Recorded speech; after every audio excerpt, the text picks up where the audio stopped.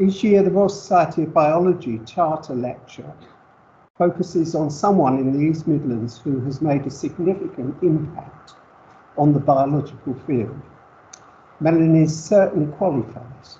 She's the director of the Leicester NIHR Biomedical um, Research Centre, which is, I'm sure she'll tell you herself, has recently come into some money, um, and is a professor in diabetes medicine. Has been here in Leicester almost all her career. She was awarded a CBE in 2000, 2016 for services to diabetes research. I'm sure you will want to welcome Melanie Davies as she gives the 2022 Charter Lecture, 100 Years of Insulin.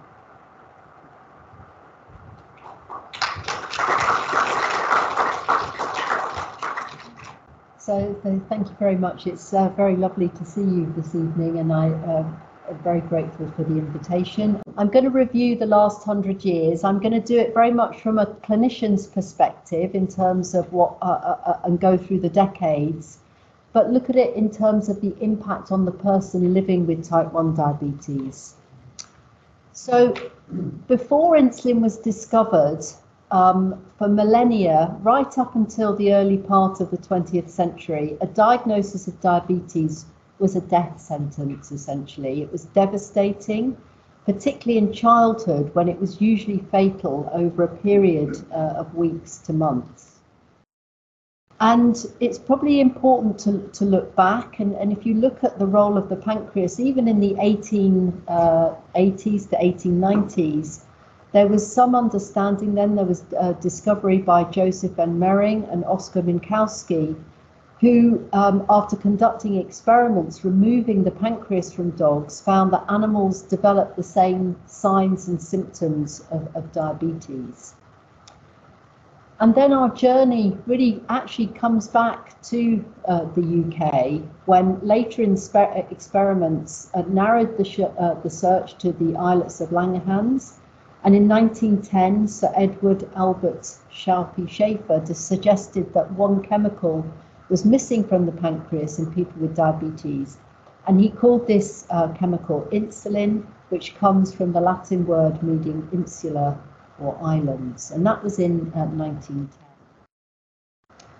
And it's probably just worth sort of reorientating ourselves in terms of what was what was happening in the 1920s. And in 1920s, there were already traffic lights, there were vacuum cleaners, there was the television, so people were able to watch the telly, and there was quick frozen food, um, but there was no insulin. And you know, in terms of the treatment for type, uh, type 1 diabetes in 1920, really it was a starvation diet. That was really pretty much the only treatment. So people with type 1 diabetes were often kept in hospital for weeks or months at a time. Uh, their calorie intake and glucose excretion was meticulously uh, monitored. The degree of calorie restriction had to be carefully monitored owing to the uh, negative impact on growth and the ability of, of patients to fight off infections. And it was pretty awful. It was an unpleasant regime and it was very difficult to maintain. And it was pretty devastating for the individual, but also for their, for their families. And then the paradigm shift uh, happened in Canada. So in Canada, uh, in October 19, uh, in October the 31st in 1920, uh, the insulin story began in London, not U- uh, London, UK, London, Ontario, where Dr. Frederick Banting woke up in the middle of the night. He describes in his book at Waking at two o'clock in the morning. He'd read an article about the pancreas and diabetes for a, a lecture he was preparing, and he was struck with an idea for an experiment to isolate the internal secretion from the pancreas that might control diabetes and he actually noted it in his uh, notebook. And I was really privileged actually um, to meet Michael Bliss, who wrote the book, The Discovery of Insulin, but also to visit uh, the library in uh, Toronto, where uh, a lot of these um, documents are still kept. And he wrote in his uh, book, ligate pancreatic ducts of dogs, keep the dogs alive until the acini degenerate, leaving islets, and try to isolate the internal secretion. And essentially, that's he, he went with his idea. So he took his idea to the University of Toronto. He presented it to J.J.R. MacLeod, who's a professor of physiology. MacLeod was pretty skeptical, but he gave Banting a small lab in the medical building, access to experimental dogs, a $100 budget, which is a lot probably in 1920, but critically the assistance of a recent graduate in physiology and biochemistry, Charles Best. And the story of Banting and Best is a, a very famous one, but during uh, the summer of 1921, uh, they reported encouraging results with the extract, where, as you can see on the chart, they were able to administer uh, the extract and reduce uh, glucose levels in these depancreatized dogs. And they were joined, and in most great science, it's a team effort, and they were joined by Bertram Collip, who was a biochemist from Alberta, who happened to be on sabbatical. And again, it's teamwork, but it's usually uh, for, a slight fortune as well, uh, uh, sometimes in these great discoveries. And he joined the team and uh, helped Banting and Best to. So basically, then we move from animals to humans. And the first person uh, in the world to receive uh, insulin, as it was called then, was a 14 year old boy called Leonard Thompson. And he received it on January the 11th, but it didn't really have much effect. Uh, but they worked with Collip and they were able to purify the extract. And on January the 23rd, um, Leonard Thompson uh, received insulin, which had a lowering of blood glucose. And, you know, as I said, this was just a, a modern miracle at the time of medicine. The challenge then was to move to large scale insulin production because this news spread uh, pretty quickly. Um, but, um, and during the spring of uh, 1922, after some failures, production uh, was restored um, and Best oversaw that. And quickly, this story uh, attracted international attention such that um, they received the Nobel Prize for Medicine in October 1923. Uh, it was quite controversial at the time, as most um, relationships with uh, academics are, in that Banting shared his award, because it uh, originally went to Banting and Best, but Banting shared his award with MacLeod and um, uh, uh, um, and also uh, they shared with Collip, who was the biochemist. Then after that, it was important to make this absolutely life-saving medicine available, and so the University of Toronto uh, quickly oversaw uh, quality control and rights to North America, so that was held by Connaught, and Eli Lilly, which still is a major player in insulin production uh, today. Um, if you look across the rest of the world, it was the MRC, for example, that first prepared insulin in the UK in 1923 uh, through uh, what's now become the Wellcome. Uh, Novo Nordisk uh, so, uh, also obtained rights in Scandinavia in 1923, Hoechst in Germany, and then across the Commonwealth government of, of Australia. So you can see how quickly now, if you think of, of now in terms of medicines, going from phase one into availability for patients, it takes decades. Yet within a few months, um, insulin production was formed across the world. So this is Elliott P. Joslin, who is a, was a very wise physician and Back in 1923, he said insulin is primarily a remedy for the wise um, and not for the foolish, be they patients or doctors. I don't think it's a particularly politically correct statement, but it's very true. If we want people to use insulin well, uh, we need to really support them because um, it, it, it, in order to live long with diabetes, you know how you must know how to use it successfully. Some examples, really. So pretty early on, it was recognised that insulin does not cure diabetes. It needed to be injected fairly regularly, um, and it needed quite a lot of adjustment around diet. Um, in fact, actually, very early on, there were major fears about the challenges of people self-managing uh, their um, treatment. Now, today our philosophy is very much that we support people to self-manage their long-term condition. Um, but here there was a real um, uh, barriers put up by physicians to want to um, to underestimate really the ability of people to manage uh, their insulin. So many of the teaching hospitals wanted to manage that within the hospital. There was not much experience. The experience was very variable of people uh, living with diabetes. And much of the press were very skeptical that insulin should be administered by patients themselves. And if you look at the burden on a person, so this is a little infographic, and you can see that there's a little teardrop to a blood drop to say you have to measure your glucose. You then have to count your carbohydrate. You need to, to inject. And for many people in the 1920s and 30s, uh, insulin was associated with hypoglycemia. So this was quite a burden on, on people on, in their daily. Now, in the 1930s, We've got sliced bread, the uh, nylon bristle toothbrush, uh, the car radio, adhesive tape. What was happening with insulin? We'd now moved to mass production of insulin in the 20s and the beginning of the 1930s. Hoechst was one of the first companies to really uh, upscale and produce insulin of a, a consistent quality. And in the 1930s, there was a new crystalline insulin formulations, which uh, able to enhance purification and tolerability.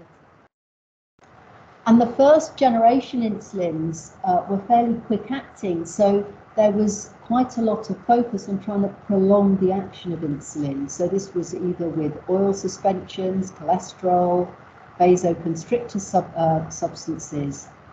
But the experience still wasn't that great for, for the person living with diabetes. The injections were painful, the stability of insulin was poor and the variability was very uh, marked. So in the uh, 40s, you've got the Colotelli, uh, aerosol spray cans, kidney dialysis, so fairly advanced in terms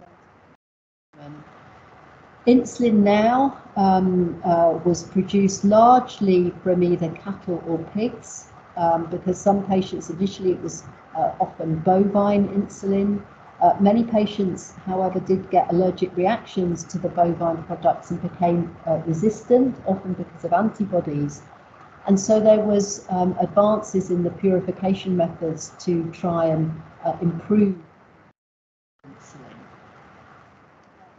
In the 50s, you've got the microchip now, uh, barcodes, the credit cards, and I'm not sure it's such a great invention, but McDonald's, um, the first McDonald's was opened in the 1950s, and the first diet soft drink um, as well.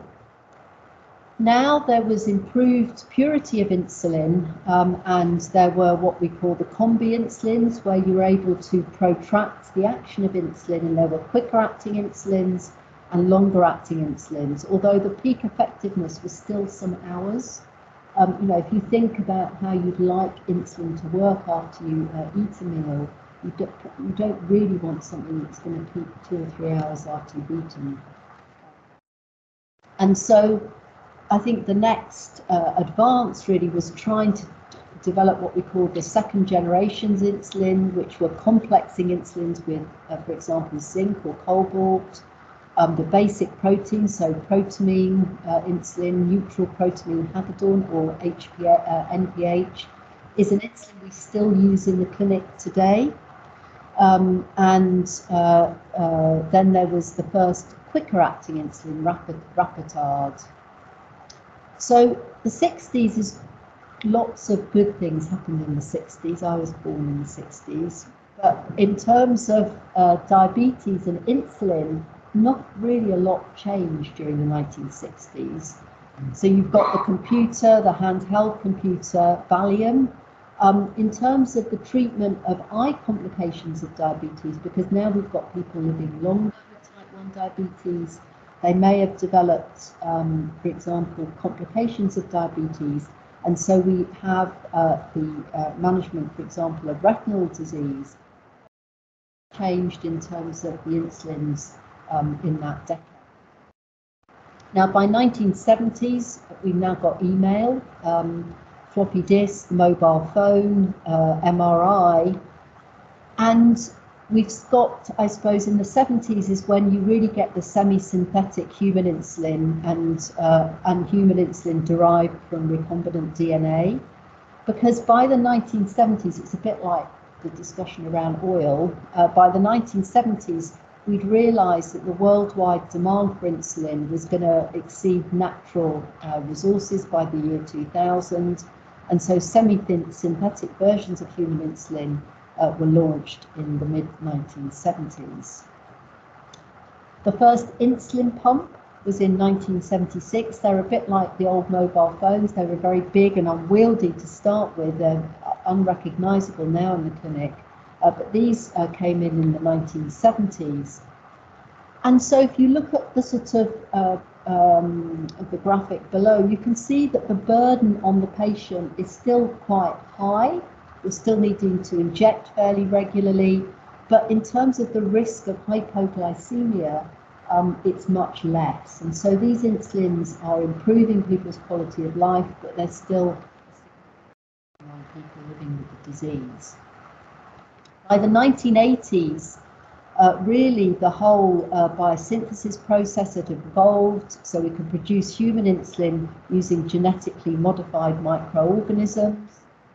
Um, the limitations of NPH insulin were, you know, the older insulins you had to resuspend. And if you look at the graphic, you can see depending on whether you put the pen up, the pen down, or you mix the insulin, hugely impacted on uh, the action of insulin and its impact on glucose. So, you know, we had to be meticulous in telling people to resuspend their insulin, um, and it was really quite a faff for patients, but it could have a huge impact on their daily daily glucose control. And this is uh, a paper that we wrote recently uh, to celebrate the 100 years of insulin. And this is a colleague from the US um, who remembers on her ward rounds um, and when she talks about the vets, the veterans um, on, the metabolic ward where they would uh, test their blood glucose level, um, drop the blood on a strip, wait for it, match it to the right colour to measure the glucose level, and then they would send them round uh, for a walk around the wards, eat their lunch, and then they would have to check them again and often treat them for hypoglycemia because their blood glucose levels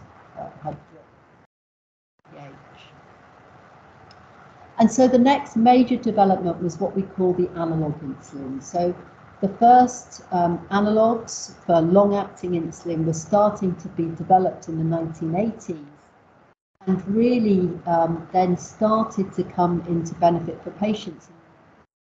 So in the 1990s, uh, even some of the younger uh, members of the audience will remember the 90s, hopefully. So we've got the internet, text messaging, Sony PlayStation, Google, and you've got the first insulin pens. So if you look at the old glass insulin uh, syringe, which used to have to be used on, on multiple occasions, the pens make it much easier, particularly if you're a, a child with type 1 diabetes. Having the insulin pens were much easier uh, to administer insulin, much kinder, but he also um, in terms of stigma, you could carry your pen around with you at school or at work made it much easier to live with uh, diabetes on a day-to-day basis. So the development of the long-acting basal insulins um, is quite a nice story. So uh, there was in the 1980s, it was really trying to change the isoelectric points. So these had uh, were more neutral. So glargine, for example. Then in the 1990s, the approach was uh, of insulin with, with fatty acids to try and protect, uh, uh, protract um, and that and now um, the approaches the approaches tried to be to find insulins that have a more physiological approach. So, for example, if we look at regular human insulin, this is the insulin action um, uh, after administration. You can see that the faster acting insulins peak much more quickly, and then um, uh, basically their um, uh, length of action is much shorter. So you don't get the hypoglycemia later. And now uh, we're in the uh, faster acting insulins, and we've now um, uh, now we now talk about the ultra fast insulin. So these are insulins that you can give as you're eating. Um, before we used to have to inject 20 minutes before. So if we can get quicker acting insulins, these are much closer to what you need in somebody with type 1 diabetes uh, when they're eating their meal. It also has an impact in type 2 diabetes because if you get a quicker insulin action, uh, you also suppress hepatic glucose production early, which can also improve glucose control. So by the 2000s, we've got the iPod, Facebook, USB flash drives, the iPhone, the Human Genome Project. With insulin, we've now well established in the in the clinic um, uh, uh, U100 um, uh, glargine. So as you know, it's starting to be developed in the 80s, but really only came into routine clinical care uh, in year 2000 and was a big step forward we had a clear insulin, you didn't have to resuspend it. It had a 24 hour duration of action, so it could be given once a day um, to provide basal insulin cover in type 2 and for type 1 diabetes. And it was available in uh, pen systems. And you can see compared to the NPH, which is the black, it didn't peak and trough like NPH. So it's much less likely to cause hypos, for example, By 2010, we've got the smartwatch, drones, lab grown meat, and 3D uh, bioprinting. And we've got now uh, new approaches to uh, de developing long acting insulin. So, pegylation of insulin, these were the so called hepatoselective insulins, which bombed. Okay, so we did the trials, but we've got quite nasty injection sites and we've got abnormalities in LFTs. So, that sounded like a really smart approach to insulin uh, uh, development, but it didn't work. Um, and we had the slightly by accident finding that highly concentrated insulin glargine, so the U300, uh, actually uh, had a longer duration of action. We've also got the first of the, the, the real acylated insulin, which is an insulin called insulin degludec, which after you inject it, um, forms uh, essentially uh, multi-hexamers which assemble and protract its action, so it only has to be given uh, once a day.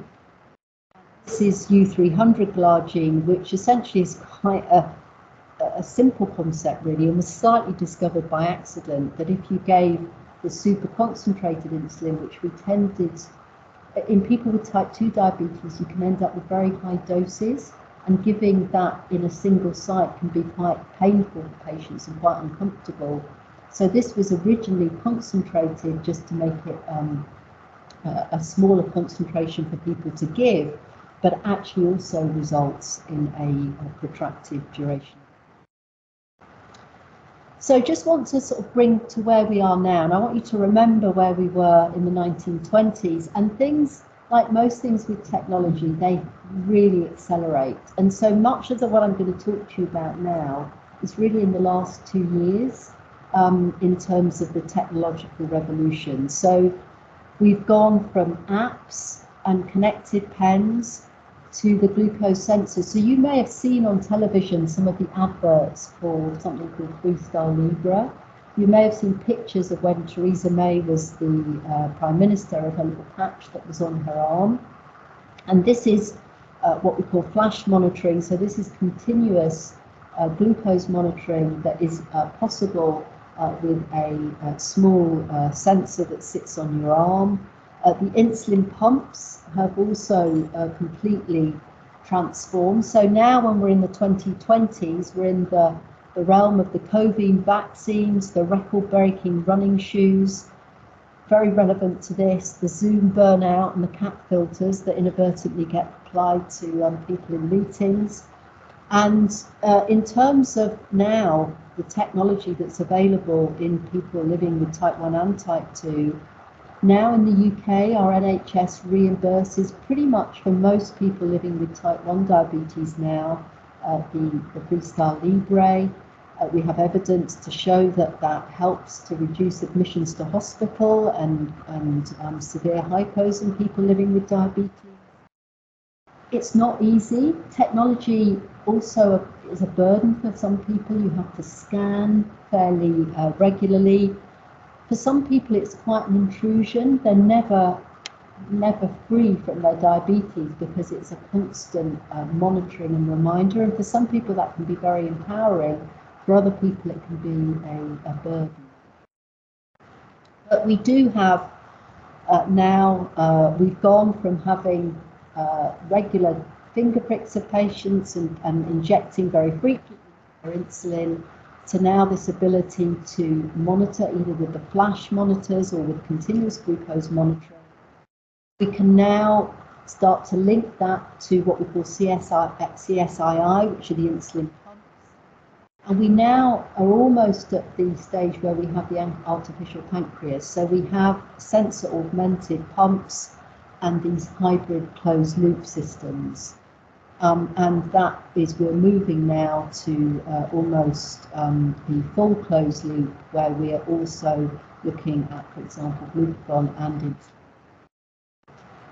and this is what I would commonly see now in the clinic. You know, if I'm doing a diabetes clinic and I see a person with type 1 diabetes, we see now what we call these ambulatory glucose profiles. We can look at time in range. And if you apply just the technology of regular insulin and uh, some of this technology, you can get people around 30% of their time in range. If you add um, good structured self-management education and you add carb counting and um, really balancing the, the, the meal insulin and the background insulin, you can get that up to 50%. If you add insulin pump therapy, you might be able to get that to 59%. And if you move now towards what's called the um, uh, hybrid closed loop system, which we're doing trials on in our clinic, um, in Leicester and, and is moving rapidly into this, you can get probably patients to uh, 70 to 80% time in range. So it's been a massive um, uh, step forward in terms of what is um, uh, now available. The guidelines now increasingly suggest that the majority of people living with type 1 diabetes should be accessing uh, this technology. We're not quite there yet in the NHS, but we are moving reasonably quickly um, in that direction. And the technology is great, but it's also all of the psychological support that we need to put in place to help people take the best advantage of now uh, the technology that we have um, in our hands. So if you look at the bottom now, you know, it is possible now with continuous glucose monitoring and insulin pumps to really reduce. I mean, there's still a burden on people, but it, it, it is possible now to make that much easier for people to do pretty much um, uh, a, live a, a, a, a, full life and to do most of the activities that they would. But it's still a big challenge, and if you look at the variation in mortality um, of people diagnosed between the age of 40, and this looks across the world. And you can see that if you if you're in Iceland and some of the Scandinavian countries, the outcomes from type 1 diabetes are remarkable. People um, have, uh, you know, very uh, low and not that different um, outcomes to people without type 1 diabetes. Uh, without type 1 diabetes, if you're unfortunate to live in the Democratic Republic of Congo your standardised mortality ratio is nearly 40 um, compared to people without.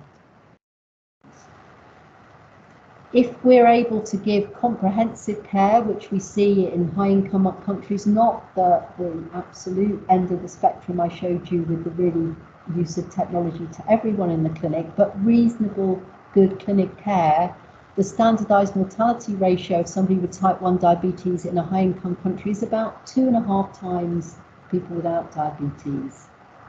However, if you look live in a low income country, it's nearly 35 to 40 times. And 84% of those deaths would be preventable just even if we were able to do the basics right, i.e., reasonable human insulin, tools for people to monitor their glucose and regular A1C and complication screening. And it's pretty sad that in this day and age, where we have all this technology and insulin was discovered 100 years ago, that unfortunately still in large parts of the world that hasn't happened. And indeed, uh, some of the complications of diabetes, which take 10, 20, 30 years to develop, haven't really uh, gone down in recent times. I hope that we'll start to see that now, um, but really up until uh, fairly recent times, that hadn't really shifted. Cost of insulin varies hugely. Actually, uh, US is almost like a third world country when it comes to access to insulin. It's uh, very expensive in the US, and many people who are not on insurance plans or come from uh, more deprived parts of the community have probably uh, as poor outcomes as some of the um, developing world. And you can see that in the UK we're not too bad in terms of the cost of it.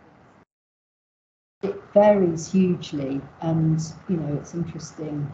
Uh, costs um, around seven dollars per unit of insulin, um, whereas it's uh, more than uh, almost 12, 15 times that in, in the US. So since the discovery of insulin, the life of people living with type 1 diabetes have been completely transformed.